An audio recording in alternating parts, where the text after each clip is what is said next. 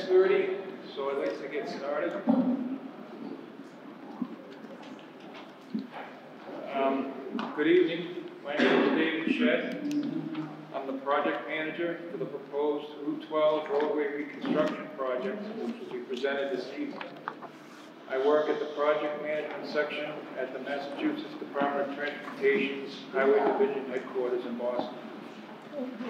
Um, if you can, yep, Can't hear you. Is that better? Yes. Okay.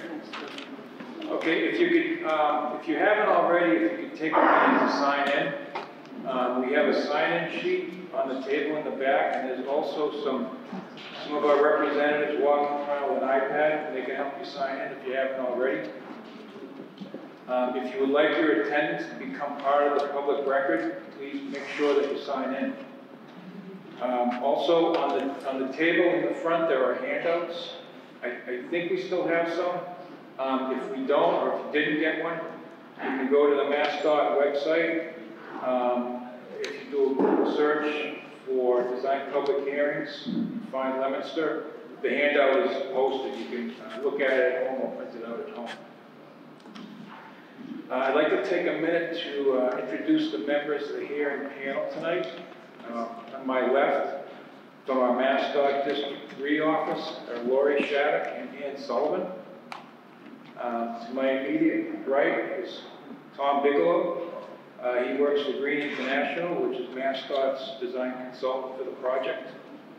Um, On the far right is Mario Russo uh, with MassDOT Right-of-Way uh, Bureau.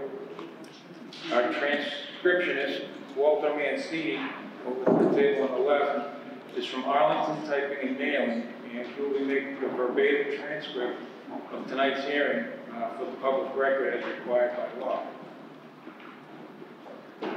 So.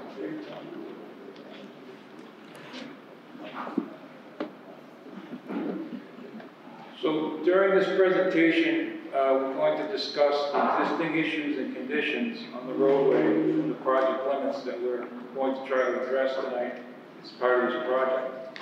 We'll also discuss the project goals, uh, history, and then the engineers from Green International will give you an overview of the improvements that are included in the scope of this project. Our MassDOT right-of-way representative, Mario, discuss the right-of-way procedures for any easements that will be required uh, for construction. Uh, We will then discuss the environmental permitting uh, and also talk about schedule and funding for the project. Finally, we will open it up for our questions and comments, which will also be recorded on the official transcript. Um, Slide yes. So before we get started, I just want to orientate everybody regarding the limits of the project. Um, North is on the right side of the slide behind you. The current limits of the project are from the Sterling Town Line to Tachi Street. Tachi Street is just south of the Leominster Storage Solutions Building. Project length is just over two and a half miles.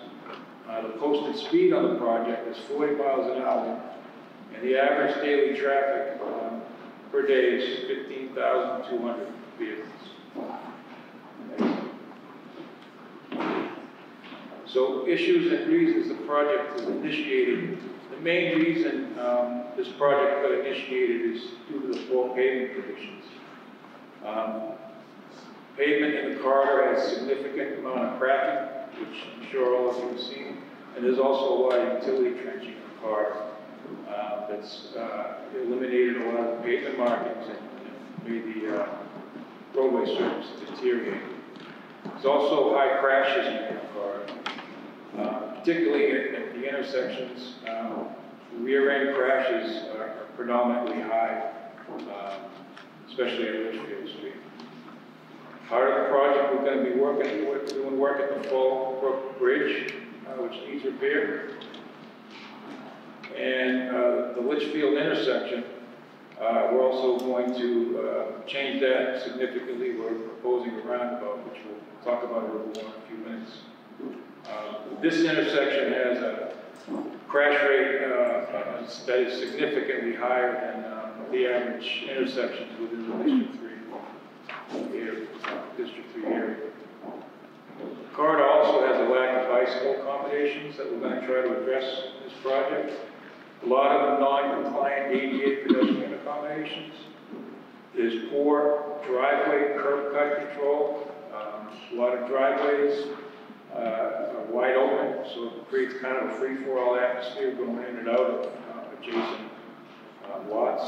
And there's also substandard uh, design, a drainage system within the project that we're we're going to, um, we're going to address. Next slide. So here's some pictures of the uh, Fall Brook Bridge. Uh, This bridge was constructed in 1915. and It was widened in 1934. The last inspection was done March 1st, 2021. And weight restrictions are currently in place at this bridge. Uh, The structure is going to be replaced to support current design loads.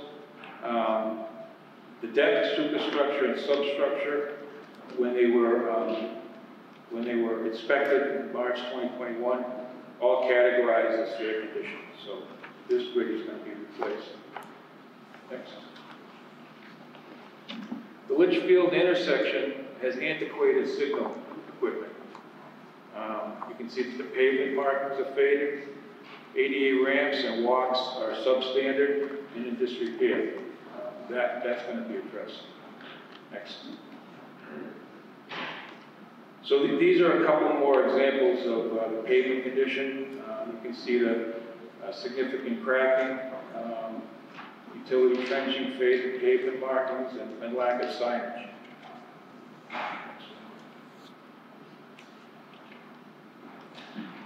These slides illustrate poor sidewalk conditions.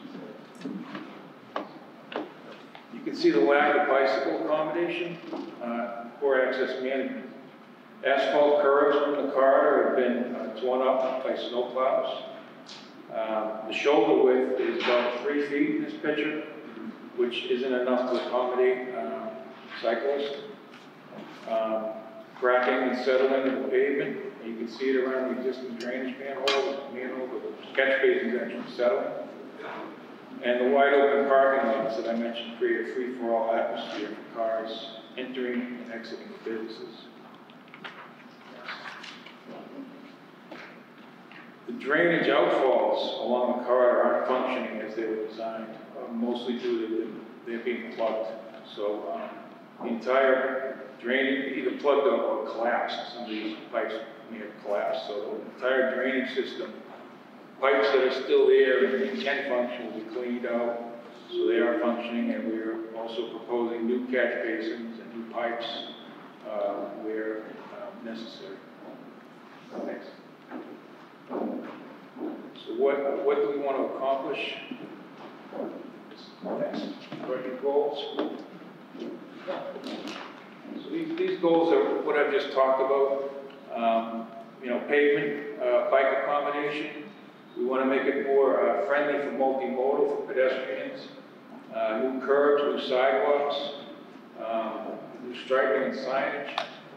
We acknowledge that the speeds out there are, are, high, so, um, some of the techniques we're using with the, the curbs and the narrowing the, uh, travel lanes a bit, the traffic calming, so we're trying to open up, lower the speeds, uh, and, and we'll get, Tom will get into that a little more on some of the other, uh, ways that we're trying to do that.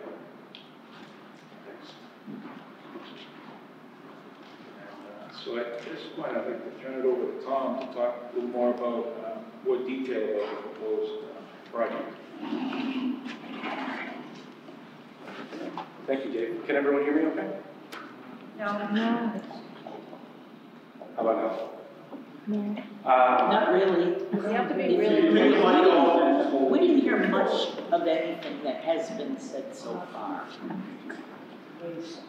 Um, I'm Tom Bigelow from Green International, um, as Dave said. So one of the main, uh, uh, purposes of the project is to improve the pavement, uh, throughout the project limits. So one of the main things that'll be done is, starting at the Sterling Town Line, all the way up to Tachi Street will be a middle and structural overlay. which will help provide additional strength to the roadway and also provide smooth riding surface after the uh, pavement has been reconstructed and the drainage has been uh, reconstructed as well. Uh, Another main component of the project is providing ADA compliant sidewalks. Uh, So there'll be new sidewalks constructed throughout the project.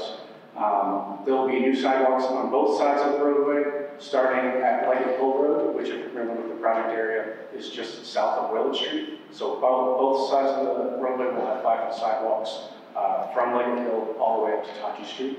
And then starting at the Sterling Town line, there'll be a new sidewalk on the west side of the roadway, uh, which is the, uh, the southbound side of the.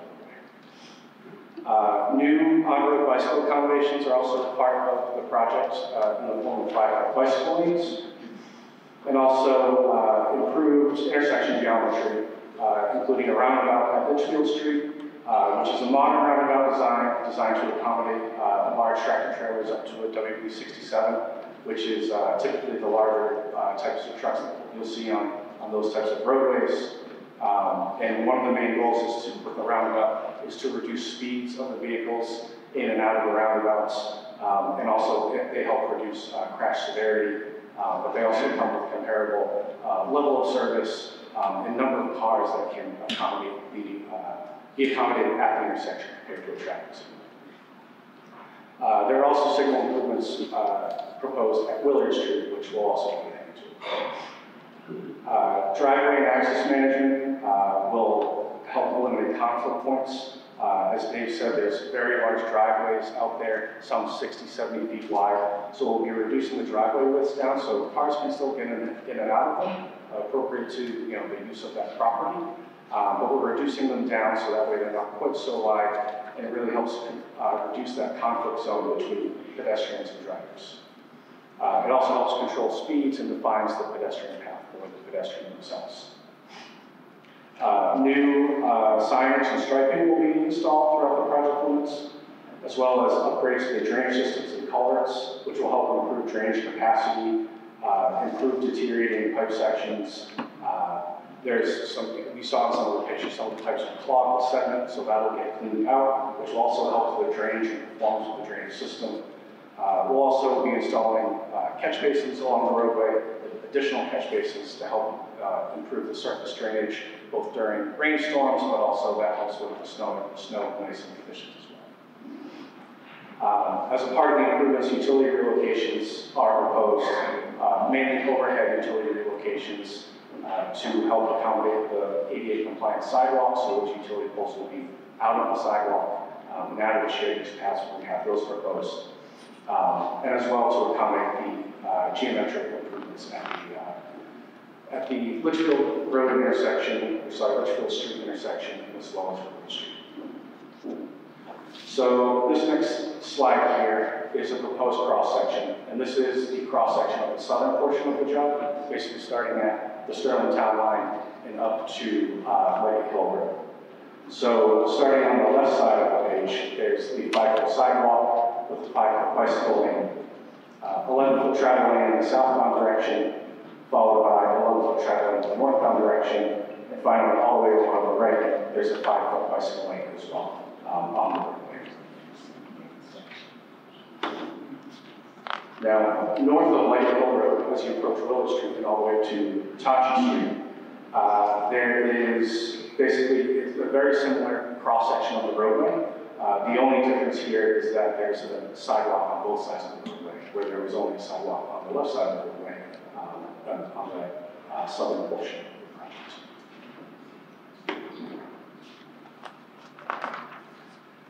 Now, as far as the uh, intersections and the signals that we're uh, updating and reconstructing, uh, first is the Willard Street intersection with Route 12. Uh, We're updating the markings. The existing turn lanes that are there today, there's one, a, a left turn lane for Route 12 southbound onto Willard Street.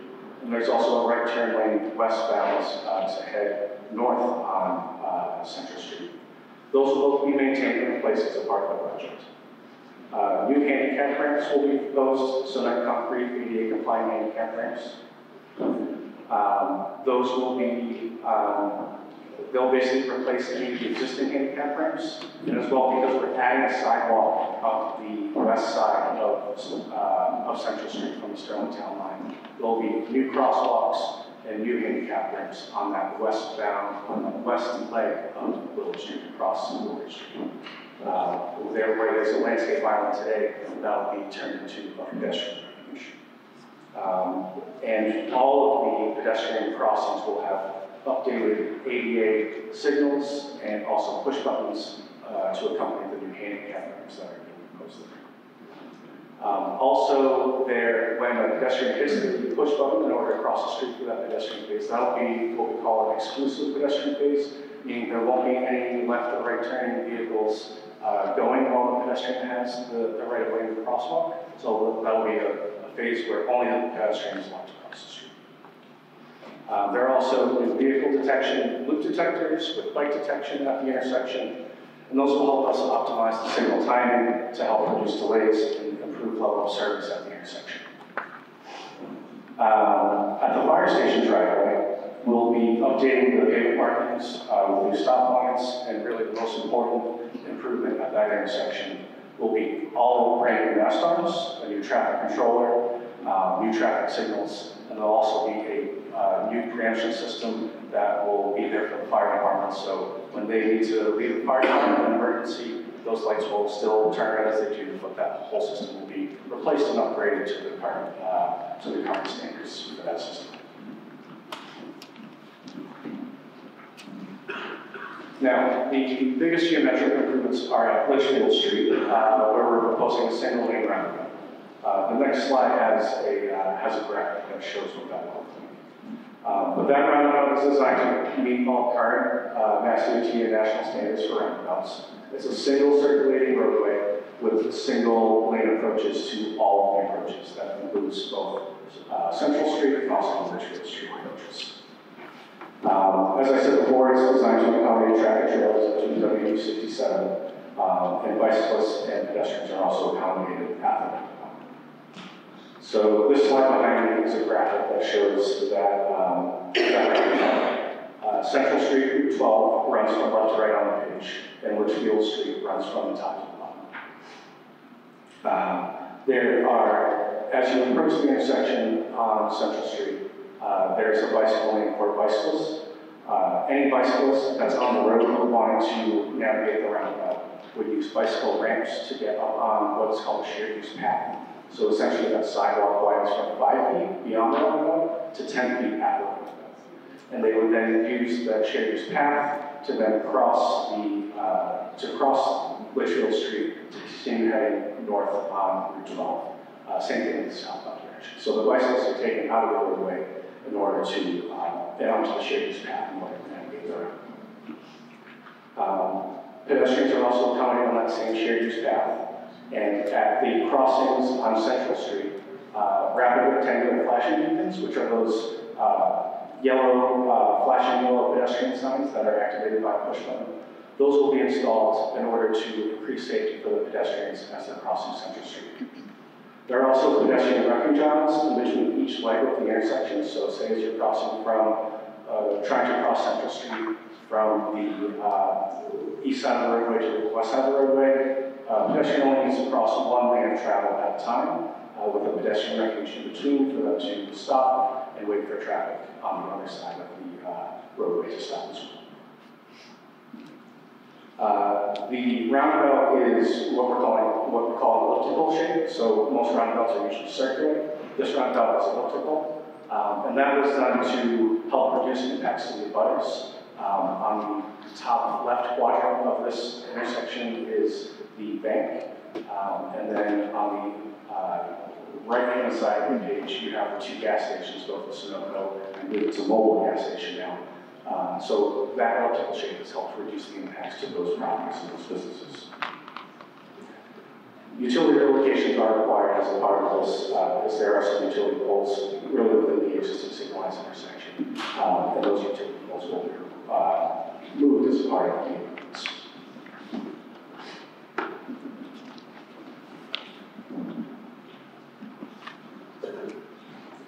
Uh, Another large component of the project is the replacement of the bridge over Fall Brook.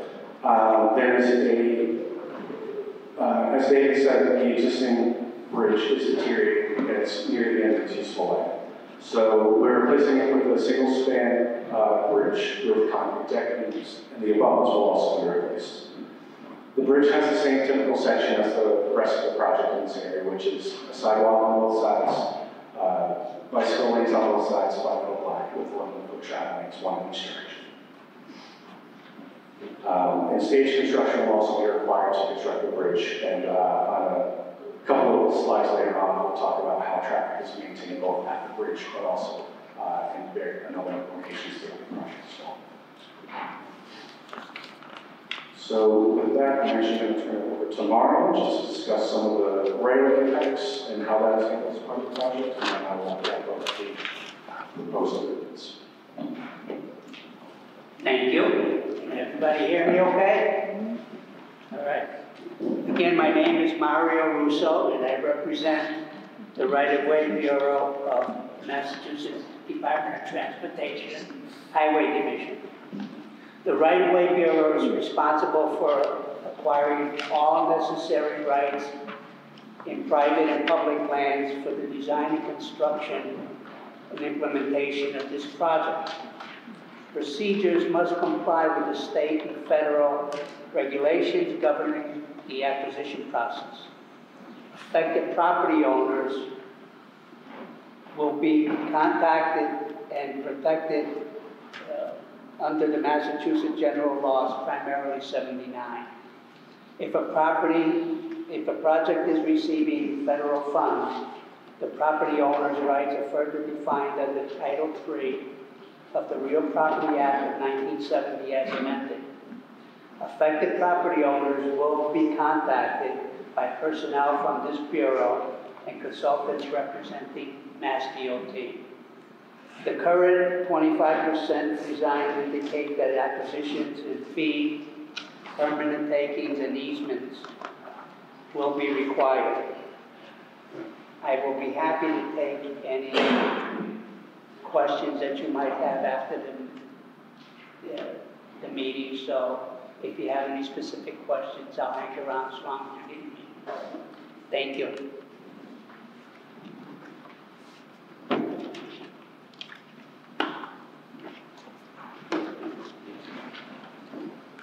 Um, This slide is to discuss the environmental uh, permits that will be required for the projects.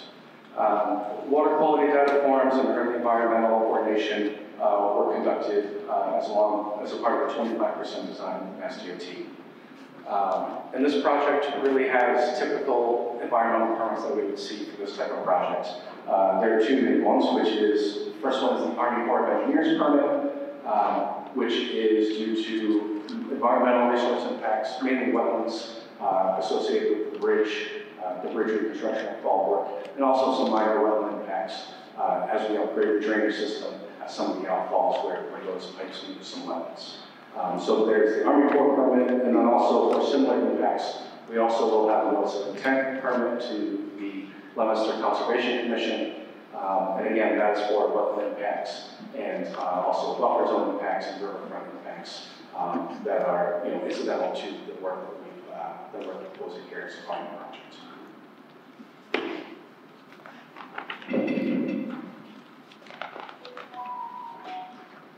Now, for construction phasing, um, any construction project obviously does have an impact on the traveling public. Um, But obviously, with any construction project, we try to minimize those impacts um, as much as possible. So lane closures will, will occur uh, during the construction of the projects. Uh, But the first thing with any construction project is uh, the two-way traffic will be maintained wherever possible. So just trying to shift the traffic over while completing the work in the roadway and, and uh, maintaining two lanes of travel, one in each direction. When that is not possible, one-lane alternating uh, setups will be used uh, with a police detail uh, posted, uh, most likely two police details, given the volumes of the roadway, um, in order to allow work to occur within the roadway, um, but also allowing traffic to pass. And typically, those will be done during, you know, the, after the morning peak and before the afternoon peak starts. Um, There is some potential for short-term detours or normal work hours. Um, And then, of course, because of the roundabout, we have an existing signal system uh, being replaced with the roundabout. We will have site-specific uh, traffic control plans for the contractor to follow there. Um, But because we have a major intersection, two lanes of travel will be maintained at all times through the intersection, uh, as well as the traffic signal will be maintained until the circulatory roadway of the roundabout can be built and uh, enacted by the contractor during construction. And finally, construction facing at the Fall Brook. Um, Because of the construction of the bridge and and the limited width on the bridge, um, we are proposing one-lane alternating traffic with a temporary traffic signal. Um, There, so there will be some delays with that because only one lane of travel will be able to get by at one time. Um, But the, uh, the duration of that is expected to be about 18 months in order to do both phases of the bridge.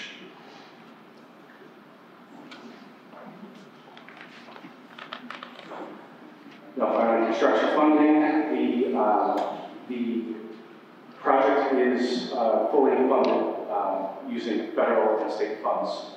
Um, The estimated total cost is $18.5 million. Um, That includes the construction, it also includes the, uh, the utility relocations and also some police details. But what it does not include is uh, right-of-way acquisitions. Uh, The project is currently programmed on the uh, year 2024 uh, tip year. Um, And also right-of-way acquisitions will end up being acquired by the state um, through that right-of-way process, as described by Mario. Um, So with that, Dave, I will turn it over to you.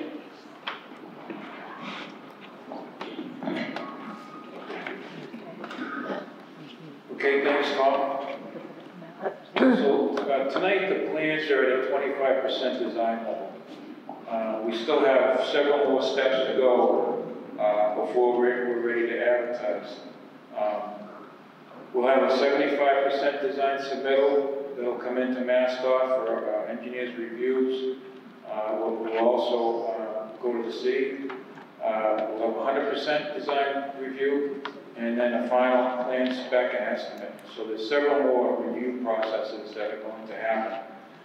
Um, As Tom mentioned, uh, the project is, is currently funded and programmed federal fiscal year FY '24, which means we have to advertise the project for construction um, between October 1st of this year and September, I'm not sorry, not this year, but of 2023 and September 30th, 2024. Right now, the schedule looks like we're going to be advertising closer to the end of the federal fiscal year, sometime in August 2024, uh, or maybe early September. Um, If that's the case, um, you would probably not see construction until spring of '25. You might see something in FY, the end of '24, you know, minor drainage uh, improvements, but more than likely it'll get started um, in, in beginning of '25 in the spring. So how will we keep you informed? Um, This uh, slide has um, different ways to to submit emails and questions to the department. Uh, If you have have anything, uh, either tonight or after tonight, um, the first uh, email address is uh, Carrie Lavallee, who's the chief engineer. Um, You can submit an email to her through that DOT feedback, uh, highway at state.ma.us. There's also uh, a public hearing website um, that will be, information will be posted up on that. Um, So, so there's various ways that you can uh, write in and ask questions. Um, The plans that come in for review will also be coming into um, Leominster's engineering department. So they'll, they'll have uh, full plans available uh, at the same time we get them. So, so with that, I'd like to open it up to questions. Um, Let me, let me explain the uh, procedure to do that. Um, You know, the purpose of this hearing is to solicit your input for the project, that's why we're here tonight. So that as you know, the plans are not fully complete, and we might not be able to answer all the questions that you have, but we'll do our best to respond um, to them. Uh, Anybody that wishes to have his or her comments entered into the official hearing transcript, um, please stand up. Uh, Tonight, we're gonna have people come up to the podium. Um, Identify yourself uh, by name affiliation, whether you're an abutter, concerned citizen, a local official, and if you can spell your last name, that helps our transcrip- transcriptionists um, making the verbatim transcript. We have uh, local access TV tonight, and we're also filming for our um, MassDOT website. Um, This will be available uh, on our website. Uh, So we have an issue with microphones, so that's why we need people up to the the podium. Um, I just want to remind you too that the last sheet of the handout uh, is a mail-in sheet. If you have any questions you think about after you go home, and you want to send them in, e- email in, or send them in via that uh, handout, you can do that. If you do it within 10 days of tonight, it'll become part of the official record. So before I open it up uh, to everybody, it's normal procedure to ask if any uh, elected officials would like to offer their comments first. So if there are any elected officials here, I invite you to come up to the podium. Yes, sir? Thank you very much. Uh, My name is David Cormier, C-O-R-M-I-E-R, and uh, I represent Three, which is the, this is the heart of my, my district. Um, So I just have a couple of um, um, questions, I guess, regarding speed limit. Um, From Tossie Street up until, um, I think Kingdom Hall, it's 40 miles an hour. I think that's considered thickly settled, and I'm wondering if we can have that reduced after this project is complete, down to 30. Um, I was reading the standards on the, on the website, and I think the standards in a thickly settled district are 30. I think beyond Leggett Hill, you know, keeping it 40 with the current uh, situation, uh, though it's not as developed there, might still be okay, but from Tossie Street till about, um, uh, at least Leggett Hill, it probably should be thirty. So that would be one of my things that I wish you could, um, look into, possibly address. Um, crosswalks, I know you mentioned them at the lights, are there gonna be any crosswalks mid-span, or can you use the traffic light at the fire station, um, for pedestrians to cross there? If you can put a crosswalk and allow the pedestrians to activate that light as well. I think that would be a big help because, um, some people like to, you know, go across the way to El Camino from five fifty-six Central Street if they wanna walk. You need a place where they can activate a light so that they can do that safely and not have to go all the way down to Litchfield Street. I mean, that's where they have to go now. Um, and also, uh, one of the residents there, um, at Chapman Place asked me if it's possible to incorporate, uh, the light at the, at the fire station into their complex. I don't know if you wanna check with or work with the association there to see if that is something that the complex as a whole would, um, be receptive to, but it is something that somebody did ask me. Um, the Rotary, um, I know there's other Rotaries in the area. Um, There's one in Lancaster, there's a couple down in Sterling, there's one in Princeton. Um, One of the differences between those Rotaries and this one is this seems to be a lot of curb cuts very close to this Rotary, unlike a lot of the others in the area.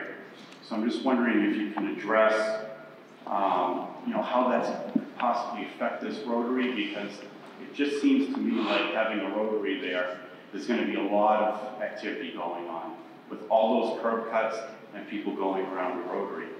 Um, so that'd be another thing that I'd like to hear more about, um, with all the curb cuts there. Um, and I think for now, uh, those were my only concerns, so, Thank you very much, and I'm looking forward to seeing what the rest of the public and my constituents have to say, and then maybe I'll have a few follow-up questions or comments. Thank you, thank you all. Okay, thank you. Um, just a quick response to a couple of those. The speed limit reduction, uh, is a process for that. Uh, it involves doing a, um, speed study with the guns of the, the speeds that are out there and reducing it by a percentage of the actual running speed. And what you said about, uh, afterwards, um, doing that study makes a lot of sense because we're hoping that once we do this project, we're gonna slow the speeds down. So that might be a good time to, um, you know, to, to take a look at something like that and see if we can change the posted speed. Um, Head crossing at the fire station, we're not, I don't think we're putting any new mid-block crossings in, but ones that are there now, correct me if I'm wrong, Tom, we're going to put them back and make them compliant with today's standards. We had one, um, one crossing mid-block, um, we talked to somebody earlier tonight about putting in a rapid flashing beacon. So it'd be push button activated and stop the traffic. That's something we, we- we're gonna look at. Um, and we can take a look at the crossing at the fire station too. Um, The, the roundabout curb cuts are a challenge. And, you know, we've been, we've been working, we have to make sure we can get access to the gas stations and the businesses with the tanker trucks and so forth. So we've been working, looking at that closely. We've actually met with the different, with the gas stations out there.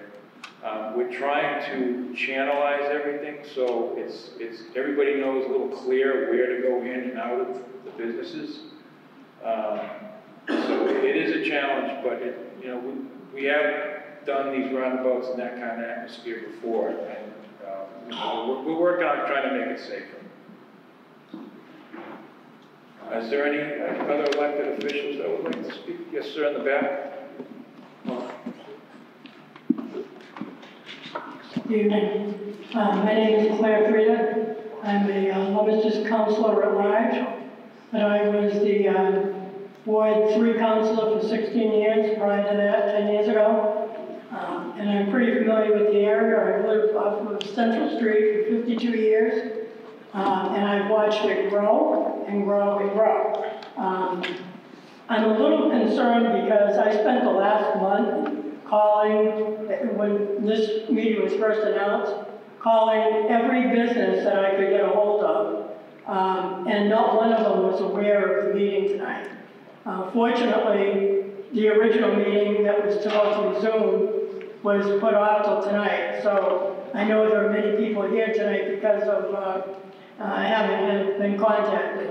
So I'm glad to see that some of them will be speaking after, I'm sure. Um, you know, there, they've been businesses on that road for many, many years, and I don't think anybody knows the area better than they do with their businesses in and out.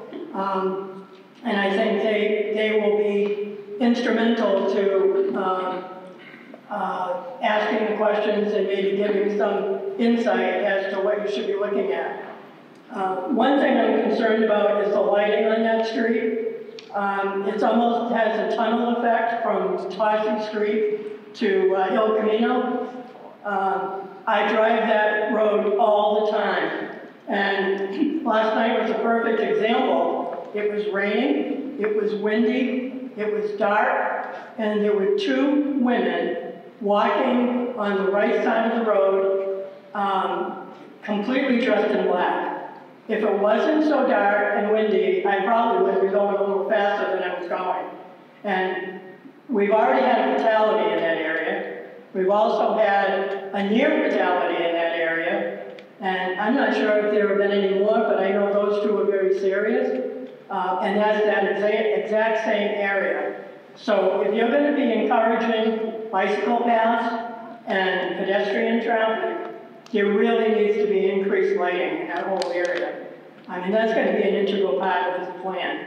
Um, it is, it's very important, it's, it's important now, but if you're gonna encourage, which everybody's encouraging, I mean, it's, it's, it's good to be encouraging the bicycle paths and the pedestrian traffic, but there's gotta be all the pieces to work in there at the same time. Um, there are many businesses, I think, that can offer, and I know one will speak to it, but there's an assisted living facility um, that uh, have very many independent-minded um, uh, residents there that like to cross the street to go to the coffee shop, uh, go pick up something at the store. Um, And it's very difficult, Uh, they have a great plan uh, with a bus that will drive people there. But I think there has to be, um, or there could be, a conversation with that um, assisted living facility to maybe have some kind of help crossing that roadway, whatever you could, you could suggest. I mean, there are people in wheelchairs, there are people walking, whether it be crosswalks, uh, however, however that could be looked at. And there are, there are many other businesses, and hopefully they will speak tonight. Um, But I'm, I'm concerned that the, and I know you can't contact everybody, but I'm concerned that not one business that I contacted in the past month knew about this meeting. So, uh, I'm hoping there aren't people that don't know about the meeting tonight and will know, you know, in the near future, um, and will be made available for them to be able to make comment.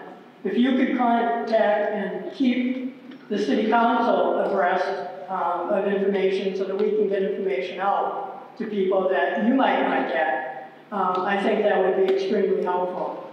Um, I think, there's gonna be a lot of conversation as you go along. I mean, we, I know, we all know that that road needs help. I mean, it- it's, it's, like I said, when I moved here fifty-two years ago, there was one restaurant and one gas station from the center of town, you know, to where I live. Um, and that's almost a sterling line. So, you know, it has developed a lot, and it does need some, it's a lot of new housing. There are a lot of, a lot of improvements that need to take place. Um, but there there's also, um, you know, some real consideration that's gotta take place in, in the planning process. So, um, hopefully, there will be a lot of conversation, there'll be a lot of discussion, there'll be a lot of contact with the, with the businesses. As I said, they know better than anyone, you know, what's gonna be a plus or a minus to that area. And I think it, it done right. I, I was representing the area where the Hess gas station was being built. That was a horror. We had traffic studies that said that intersection at Litchfield and Central was one of the worst traffic accident spots in the state. Um, Fortunately, thanks to the planning board and the planning director at the time, um, we were able to relook at the, the project at a year's end, within a year, to come back and look at it. We had people taking less, so they shouldn't have taken less. We were able to extend the island to prevent that. Um, there were a lot of things that were done after the fact that weren't major, but as it was moved along, we were able to see what mistakes were made and what should have been done, and we were able to, to correct it before it cost a lot of money. But it's still a horror with two lanes trying to beat each other, and then all of a sudden it's a dead stop because someone's turning into the gas station.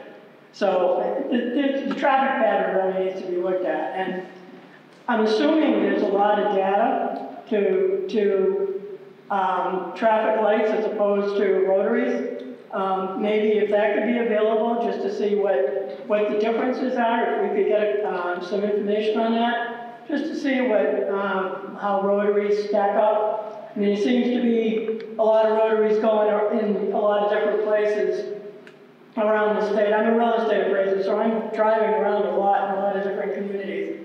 Seems like there's an awful lot of rotaries.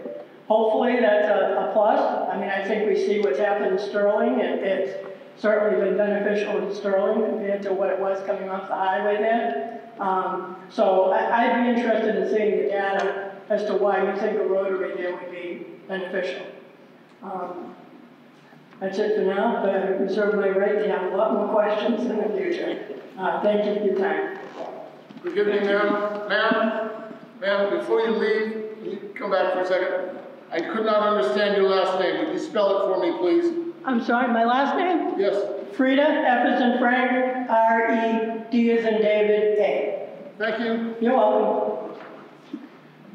Just to respond a little bit to a couple of your points. Um, It, it is difficult to get the word out to everybody about these hearings. Um, Not everybody reads the newspaper anymore, we've been working with the city to try to um, have the meeting notice published on um, social media, and it's on our social media as well.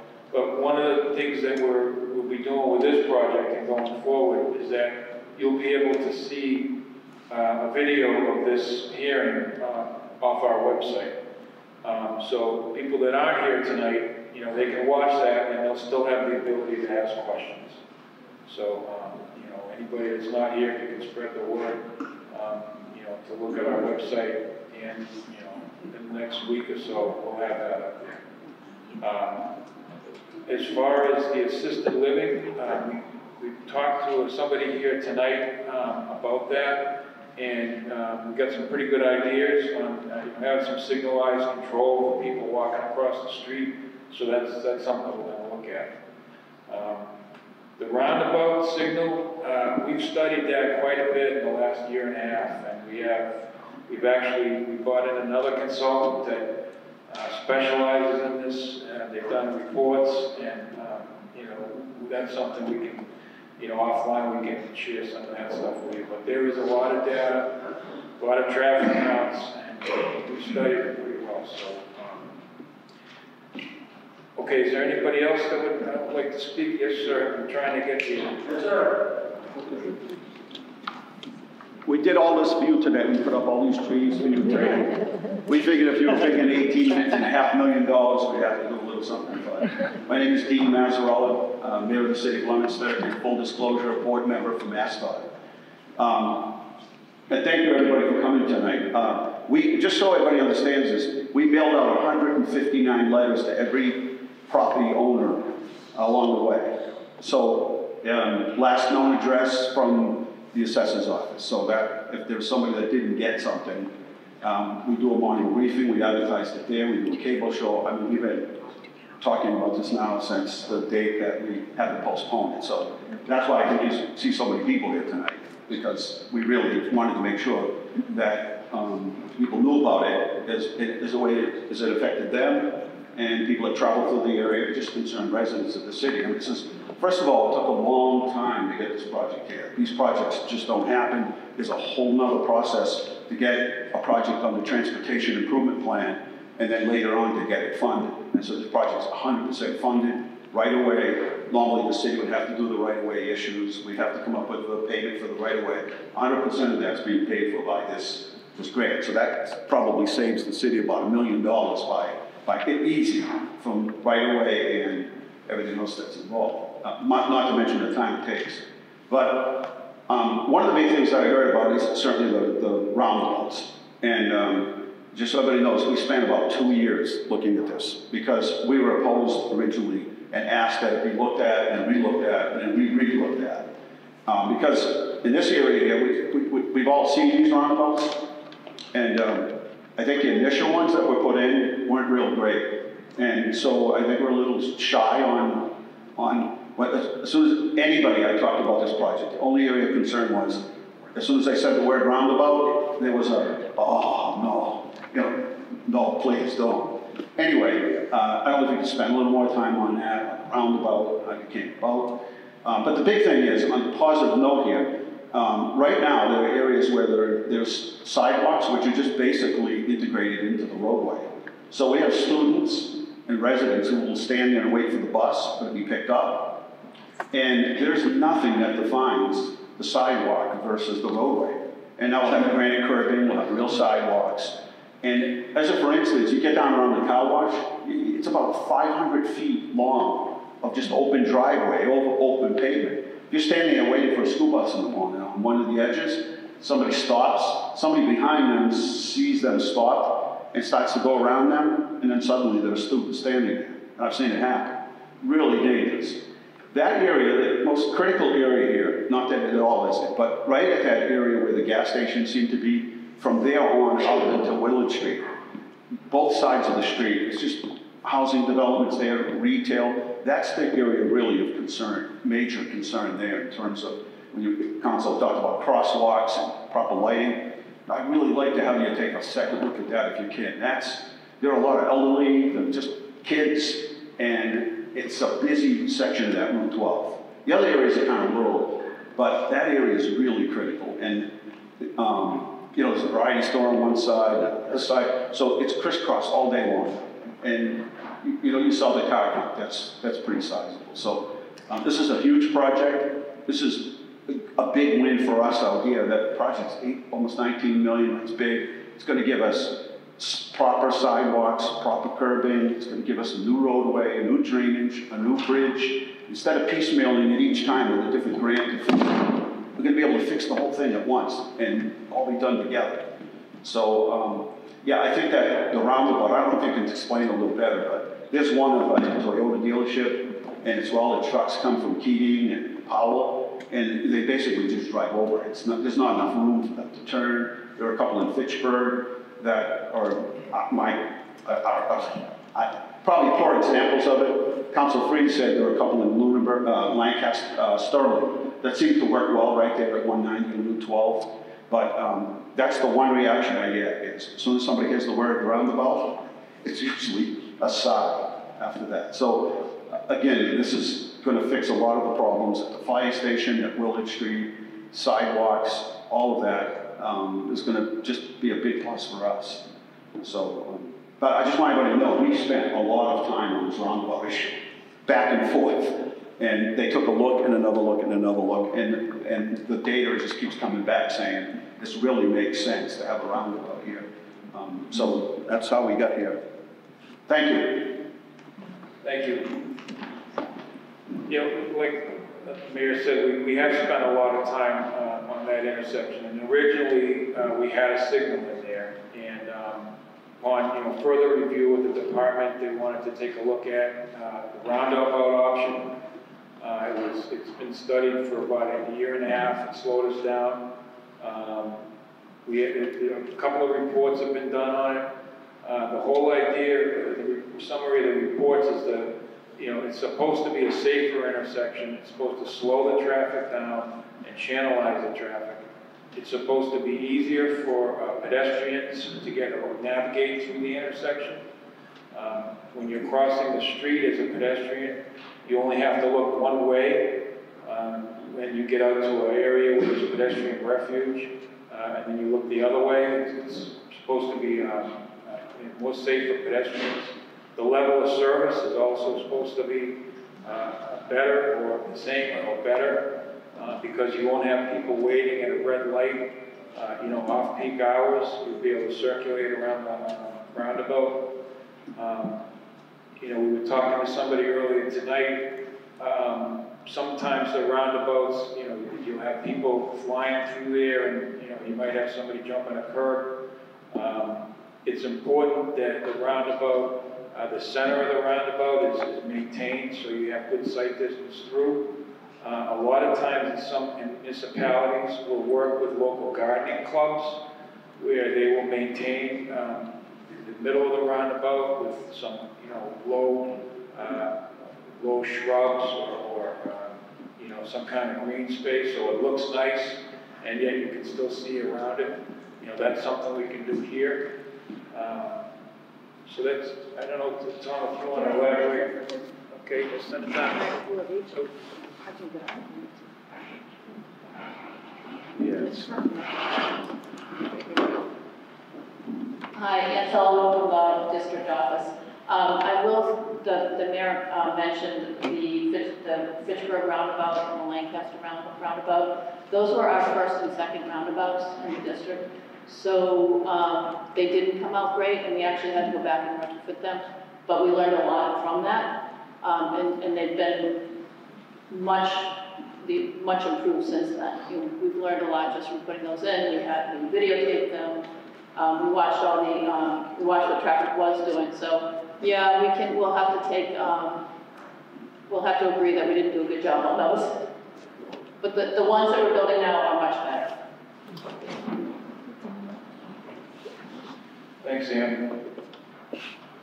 Yeah, and I think that's something we've heard tonight about the mid-block crossings and getting people safely across the, the road. So that's, that's something we'll, uh, you know, we'll try to look at a little closer and see pedestrian patterns for, you know, origin, destination, where people are walking to, and see if we can help, help with that. Uh, are there any other elected officials that would like to talk tonight? Okay, um, seeing that, I'd like to open it up to the public. Once again, if you could come up to the podium, state your name, spell your last name.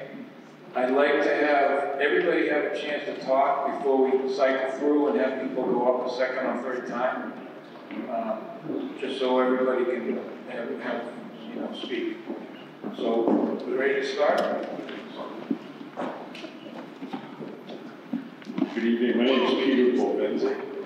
Um, In this area, I'm the developer Brooks Pond. Can you just spell your last name, please? B as in boy, O V E N Z I. Peter. Uh, My first reaction is only very positive.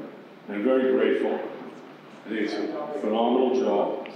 I like the roundabout. Um, Let me begin why I like the roundabout. Um, When you, I, I developed a- a large project on Route 12 uh, called Brooks Pond in Pine Hill.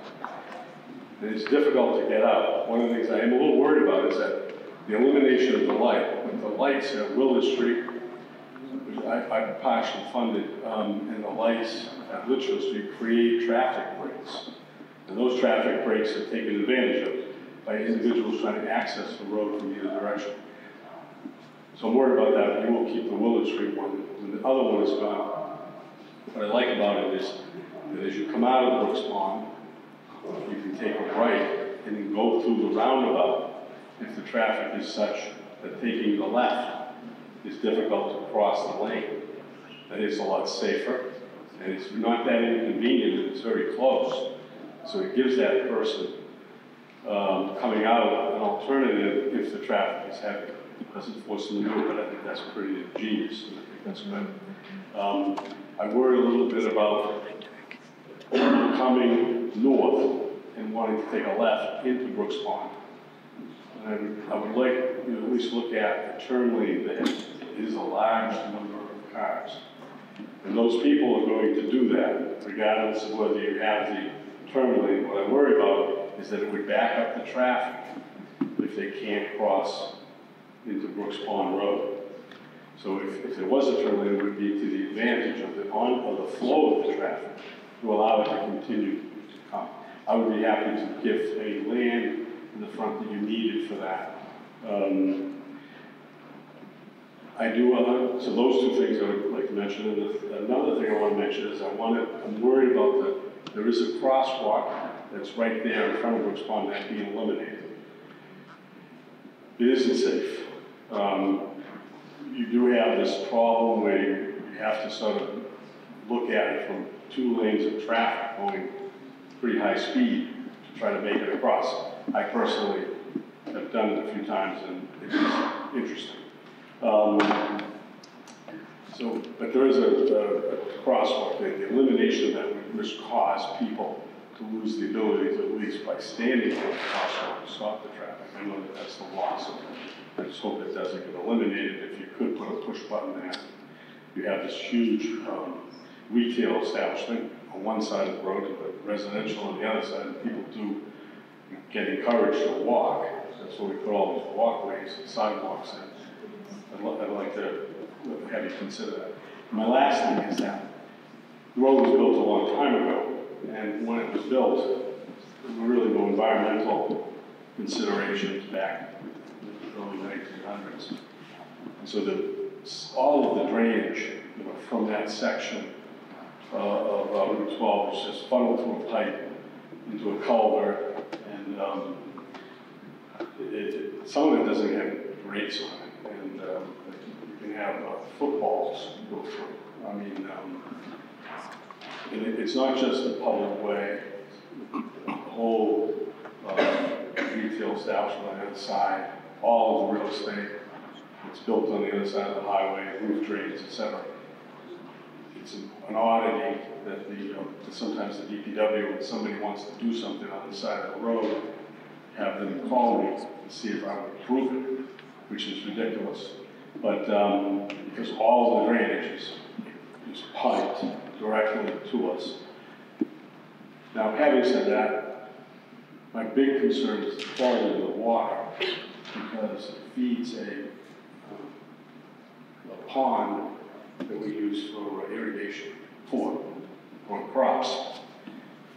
And so, to the extent that we will be- happy to participate to try to come up with some sort of remediation of all of this drainage, we provide the land, some of the engineering and whatnot, so that we can try and um, make the water when it reaches the irrigation pond, have, you know, um, so from an, from an environmental point of view, we give up a sizable portion of land to do that.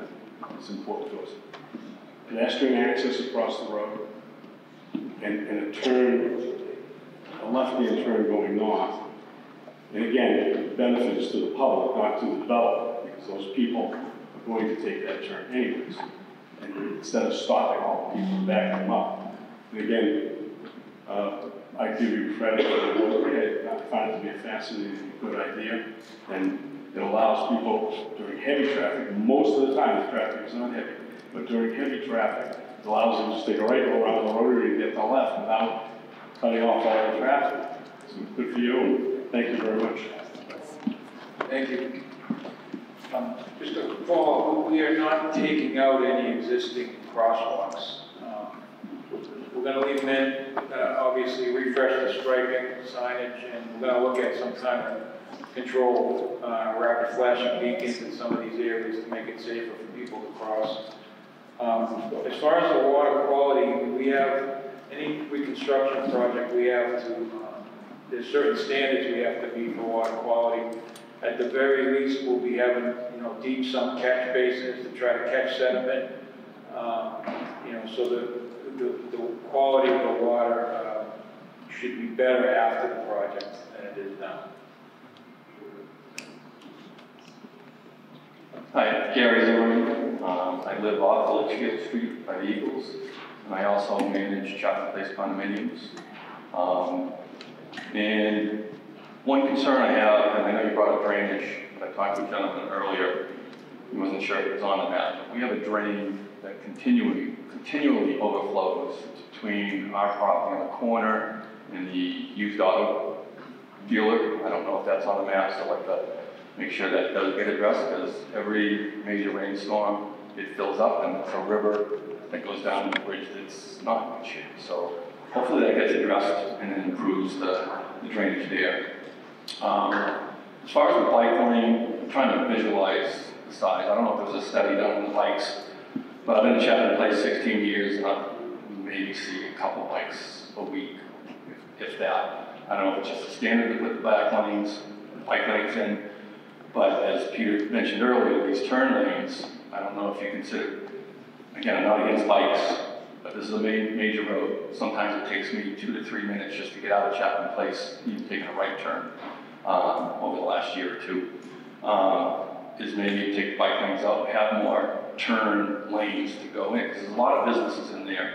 There's a lot of traffic, and to keep it flowing, the turn lanes might be better than bike lanes. Again, I'm not against bikes, um, but that might be a consideration to look at. Um, Another thing was talked about is these crosswalks and putting it at the fire station, keeping the ones that are there. Help, you're having sidewalks on both sides, and I always look at, well, people can walk down to a crosswalk, and again, I know from Sunrise, people can't do that as much, but if you end up with five or ten crosswalks going along there, I think the traffic's gonna get worse, uh, along with the rotary. Um, Going to the lights, it was mentioned earlier, someone talked about having the lights in conjunction with the, the north entrance of Chapman Place. Um, I don't think the residents would be against that, because I know we're kind of diagonal to the fire station, so when they come out, they're just a little off center, because they're islands right at our entrance. So if that was to be looked at, again, feel free to contact Chapman Place, and we can look at putting that in there, because I'm sure the residents would probably love that, 'cause there's been a few accidents there, trying to get out, it's not easy, again, there's a lot of traffic. Um, and that's all, thank you. Thank you.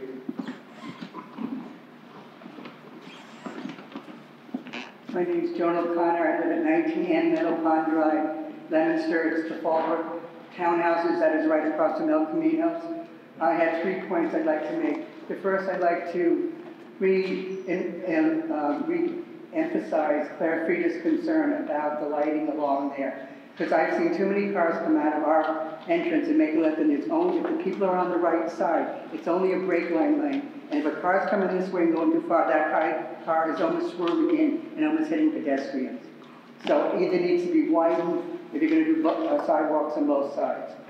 The second point I have is around drainage. Um, I'm not too sure where our water thing starts from, but it runs behind the fire station, and we have a drainage pipe that goes under our property. Very bad storms, we have the same issue as Chapman. It's coming up and over like six feet, and it goes down into the trailer park of Fall Brook. And my third concern is when you're starting this project is about safety. Fall Brook condo has a back entrance on Litchfield Street, and a lot of people use it to cut through and come out by El Camino, not have to do about the lights.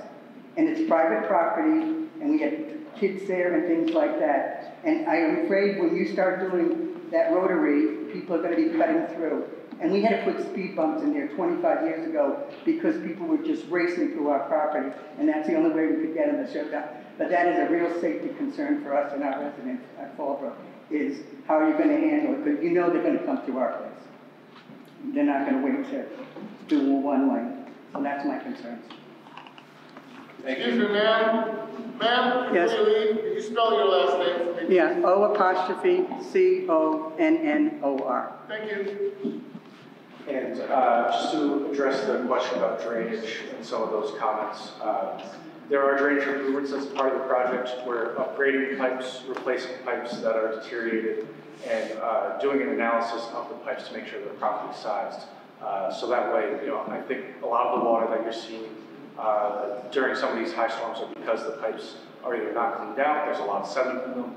Uh, So between that and also upgrading the pipes and upsizing them down to proper size, uh, we're looking for those improvements to help address a lot of the, uh, some of the flooding concerns that have been brought up uh, through some of the comments uh, as part of the project. Some of these uh, concerns are are some that we have already heard um, in discussions with the town and stuff. So, uh, so we are looking at all those uh, improvements as well as part of the project. Yes, sir? My, my name is Jim Sherman, spelled S-C-H-R-M-A-C-K, last name. I live on Dogwood Road, and one of the things I noticed that you didn't have in your plan, I didn't notice that they didn't have a traffic light down at the bottom of Grant Street and Central. It's, it, the traffic's unbearable there. I live on Dogwood, which comes off of Grant Street, and the traffic, they, they, people come down Grant Street, they go down Dogwood to go into Litchfield so they can get a traffic light at the bottom. And I almost got whacked there about three times uh, on Central Street. So that, I, I never saw that in the plan. The other thing my concern is, is Rotary at Litchfield. Now, there's two gas stations on either side, and I noticed that the rotaries that we have in, um, down, down Sterling and so forth, don't have a lot of businesses and traffic coming out of those gas stations.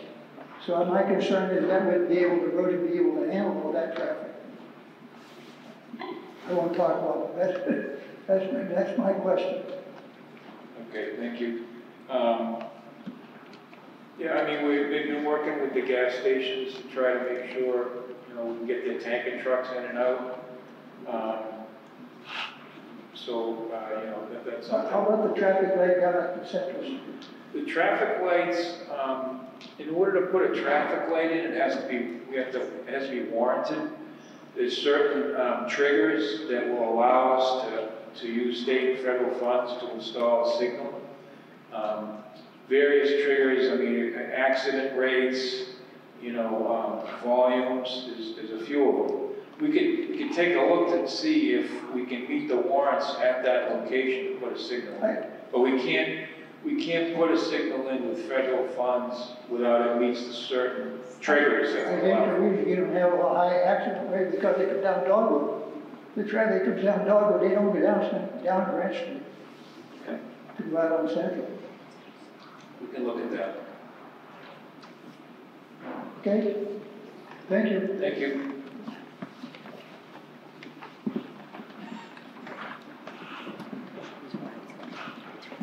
Uh, Hi, I'm Steve Cote, C-O-T-E. I live in the Meadowbrook Park. I've been there for about 30 years, so I've seen that area, that whole section of the road quite a bit. I like the a lot. I think they work fine, in the right place. I've been through all the rotaries that everybody has talked about. But this is the only spot where I've seen a rotary where was so much going on before and after. All the way to town, all the way to the other light, there's a lot of people, there's a lot of businesses, there's a lot of homes, there's condos, there's everything. And it takes people a long time to get out, because nobody will give you a minute to pull. The only chance we have is when there's a traffic break on the lights. I think you could do a much nicer light system there. I don't know why there's no turn on red at some of those spots. I think it would work better. People are gonna have trouble getting in and out of the gas stations if there's a steady flow. And I think all of us are gonna be fighting like that. Don't put a rotary to save accidents in that spot and cause accidents along the rest of the road. People are trying to come in and out of all the side streets and where they live and their businesses. And I think this is a long time coming. The road really needs to be fixed. We need the sidewalks. I think it's a great thing to do, but I wish you would consider, really look at that possibility, how the traffic's gonna flow. Thank you. Thank you. Good evening. Uh, Thank you for the opportunity to speak tonight. My name is Travis Condon, I'm C-O-N-D-O-N. I'm a uh, lifelong Leominster resident. Actually grew up on this side of town, so I'm quite familiar. Grew up off of William Street, so I'm very familiar with this project, with this whole area. Almost got hit on my bike a few times there growing up. Uh, Tonight, I'm actually here representing the North Central Massachusetts Chamber of Commerce as their public affairs manager. Uh, We do appreciate the effort that was put into having tonight's presentation. I want to thank you for doing this. Um, the chamber understands the need for infrastructure improvements, and we know how much they can improve the economy in the area, how much they can improve the area when they're done right. Uh, we have a number of businesses who are members who are going to be directly and indirectly affected by this, and just throughout this whole process, we ask that you please work with them, uh, not against them. Please listen to them. They deal with this traffic day in and day out. They have some great ideas and some great input. And as it moves forward, we also encourage you to please take all the steps that you can to mitigate the effects on their businesses and their operations. Uh, I know you posted some of the detours and things that might be happening. It looks like it's going to be a lengthy process, so please try and just mitigate the traffic as much as you can uh, so they can keep going with their business operations. Thank you. Thank you. Well, Once the project uh, goes into construction, MassDOT uh, is in charge of facilitating construction. So we'll have resident engineer and some engineers on site on a daily basis that'll, be working with the abutters and uh, coordinate with the city and the contractors. So, um, you know, we don't, we don't, MassDOT's not gonna go away in construction. We still have to have a presence up there, you know, to make sure everything's built according to plan. So, um, I'm sure that, uh, our representatives out there, you know, will, will- they're out there on site, they'll be approachable and, and, you know, do the best we can to work with all the abutters. Yes, sir? My name is Peter MacDonald, as in Old MacDonald had a farm, MAC. Uh, and I'm the executive director at Sunrise Assisted Living at the corner of Central Street and Beth Ave. Um, I'd like to thank you for being here and for everyone for having a good civil and civic discussion, and uh, my city councilors for making sure that we're all here. Um, as, as Travis just said, I'm, I'm very concerned about the ongoing, excuse me, ongoing operations of the businesses in the area. Um, during this, I had no idea there's over 15,000 car traffic count on, on this road, although in the 16 years of being at Sunrise, I've seen it expand quite a bit over the years. Um, and the idea of a one-lane bridge when the one-lane road when you're doing the bridge um, gives me significant pause. Uh, for all of us, but primarily for my residents who, on a regular basis, we have an ambulance at our facility um, once a day, more than once a day. Uh, My concerns are also around uh, lighting, uh, the speed of traffic, and crosswalks, which I think um, my fellow citizens have been um, also articulating. The, um, I get the idea of sidewalks and bicycle lanes and multi-user use of um, the street. I don't live in Leominster, I live in Sterling, but I sit on the board of directors for uh, Aging Services of North, North Central Massachusetts, formerly Montachusett Home Health, which represents 21 communities in North Central Massachusetts. Um, and it's, it's the, the local access point for seniors. Uh, my representation is particularly around seniors. I don't see a lot of teenagers in this room. Um, we're all getting older, and we're not all going to be able to drive. We may, we may bicycle, we, may walk, um, but that's not for everyone. It's still primarily a car-driven community on the south side of Leominster, and I just want to uh, remind us all that it's, different populations have different um, requirements and priorities. Um, Again, thank you for being here and for keeping us all informed. We Look forward to future discussions as the project moves along. Thank you.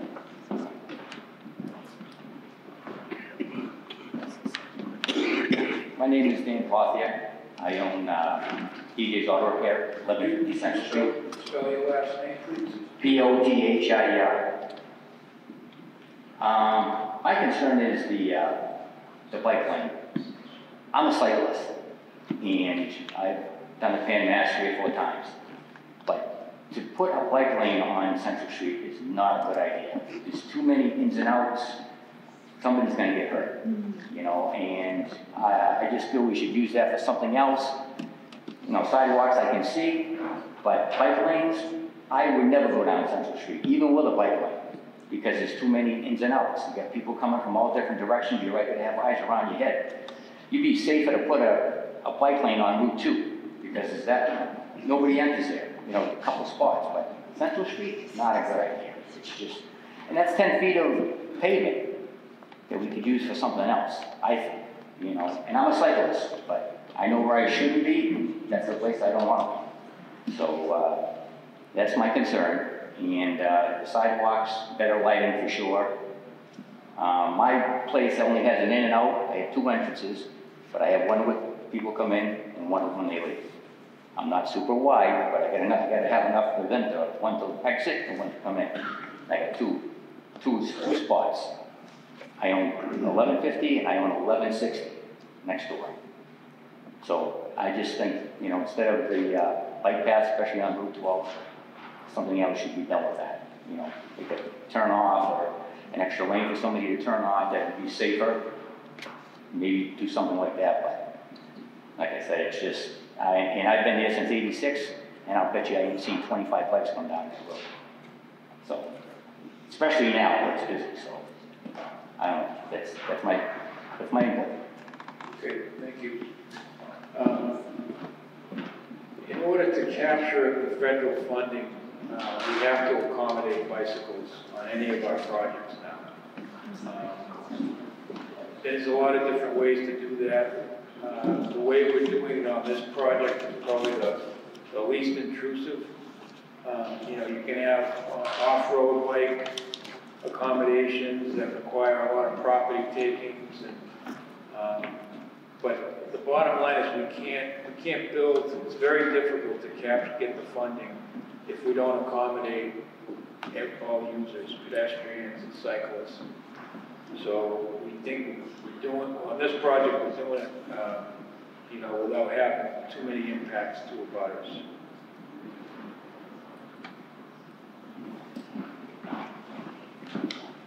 Hi, my name's Robin Newton, N-E-W-T-O-N.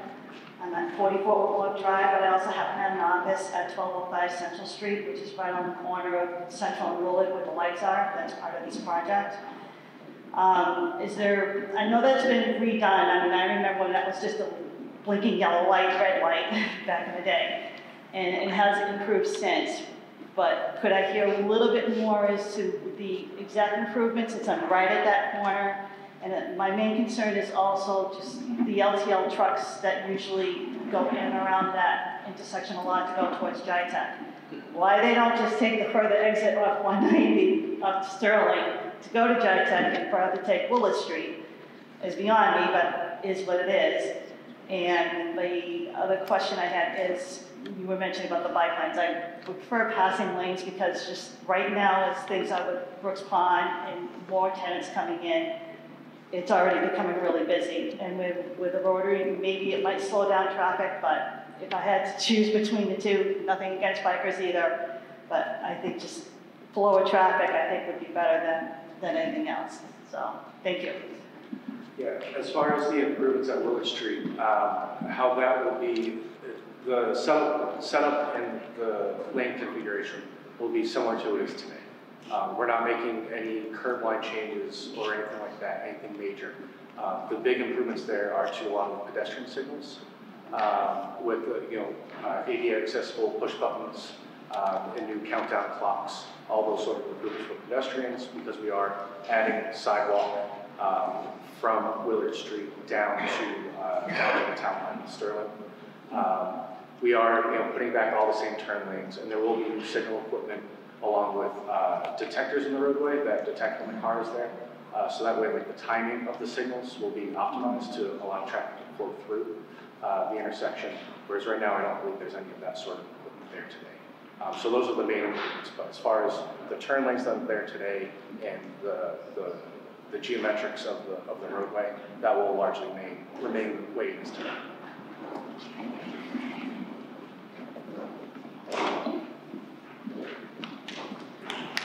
Good evening.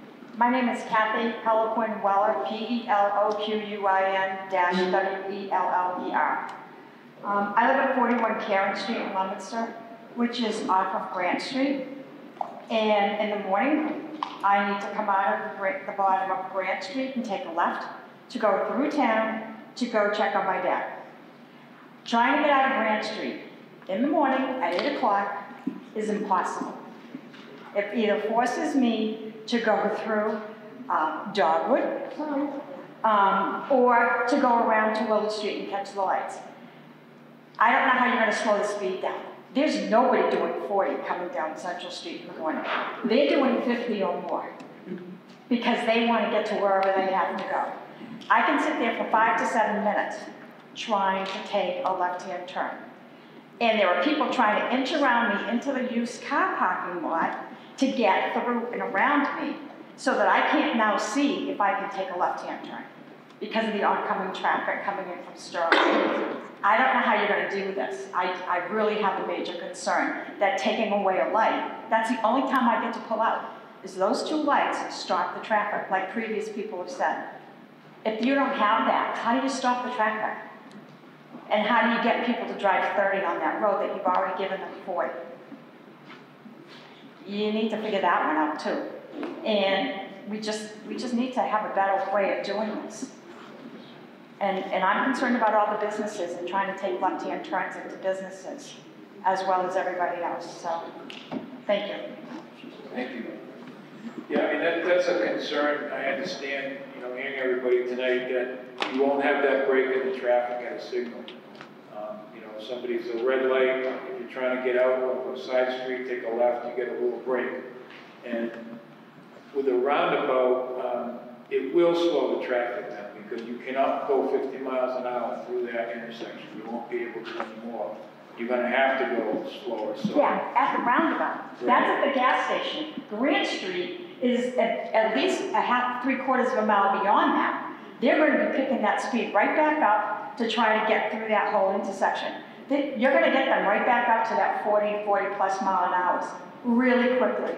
The rotary will stop them there, but it won't stop them the rest of the way. Right, Uh, well, you mentioned the roundabout, taking out the signal, that's why I mentioned that. I understand that, but it's not gonna stop the traffic once it gets out of that rotary. It's not gonna keep it at thirty. It's two minutes, I'll go back and forth.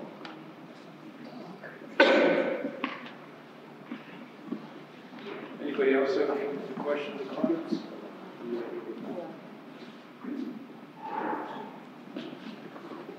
So we can come a second round, right? Yeah. I just want to speak a little bit on the comment. I'm sorry, sir, we can give you. Oh, Gary Zimmerman. I manage Shattuck Place. Again, I'm not against bikes.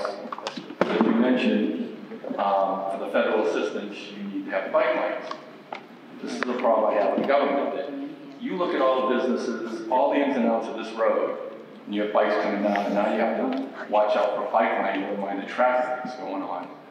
That a better study, again, possibly, as DJ Auto talked about, and Peter Penzi talked about, is having turn lanes, which could end up being more safer by using, utilizing this extra ten feet to let traffic go in and out of these businesses all along this whole route. Because there is a ton of businesses, there's residential, Chapman Place, Fall Brook, Meadowbrook, Brooks Pond, everything coming in and out.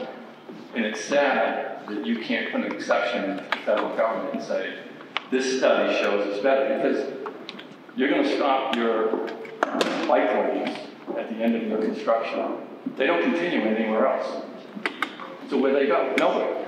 So it really doesn't make any sense unless they go all the way downtown, or they go to another bike path on the other end, because it really stops. And there could be no sidewalks maybe, I don't know what's at each end, but going downtown, there's sidewalks, there's no bike path. So it's sad that we can't go back for an exception to federal government, get federal funding. If the study shows that having these turnouts, or turn-ins, is better for the traffic in this area because of all the businesses. Thank you. Thank you.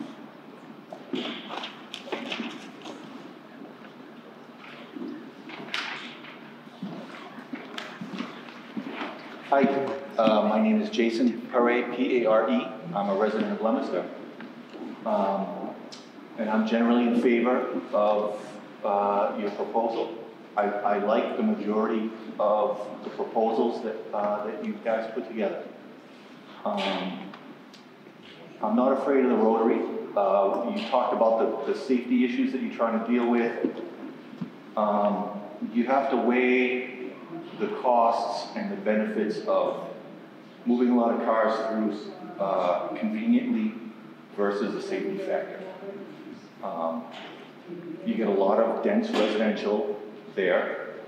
Uh, You have two uh, youth athletic fields there. There's, there's a lot of kids. Um, They talked about Brooks Pond and uh, 740 Central. Uh, A lot of people crossing there. We get a lot of good feedback about lighting. Um, It seems to me that having uh, more lanes and wider roads will increase traffic speed versus narrowing lanes and traffic calming, right? Slowing the traffic. And generally, I think that's a good idea in that whole stretch. Thanks. All right, thank you.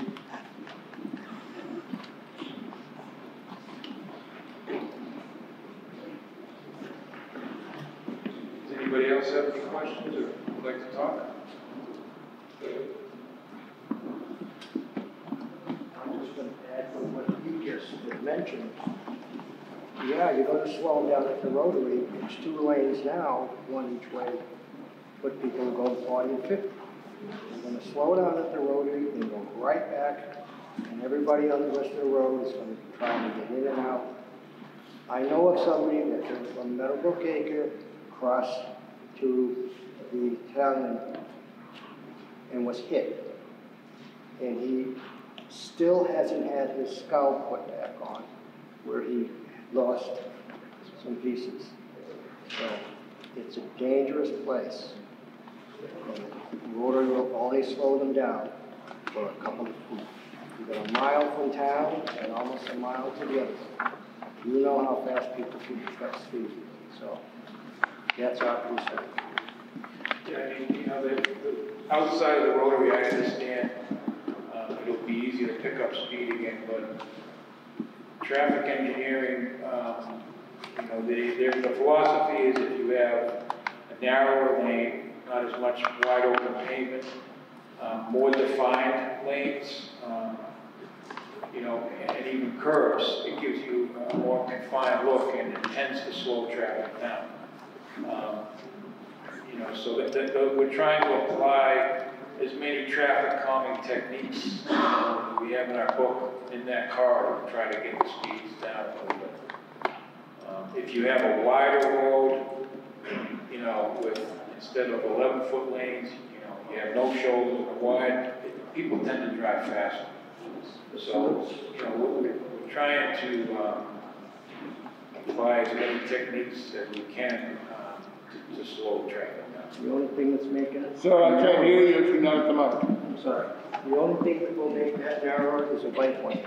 And once those lines have been washed away, or, you know, run over a hundred times and it's gone, we're gonna be right where we are right now.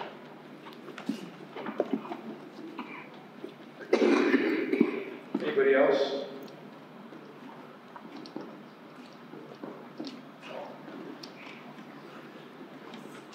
Okay, if, uh, if there's no other questions, I'd like to remind you again that, um, you know, you, you can write in, uh, you can fill out the sheet and send in, uh, any comments or questions you have, uh, within ten days of tonight, and it'll be part of the public record. You can write in or email, um, anytime, you know, after the ten days, and, um, you know, we'll get back to you. Again, the, the, the city has the latest plans, and they will have the latest plans as we go through the design. So, um, if you have questions, you know, you know, you're, you're more comfortable talking to the city, um, by all means, and then, you know, they can work through us to answer your questions or comments. Um, I'd like to thank the city for having us use this nice room tonight. Um, thanks, thank you for coming out, and I'd like to declare this hearing closed at eight oh four. Thank you.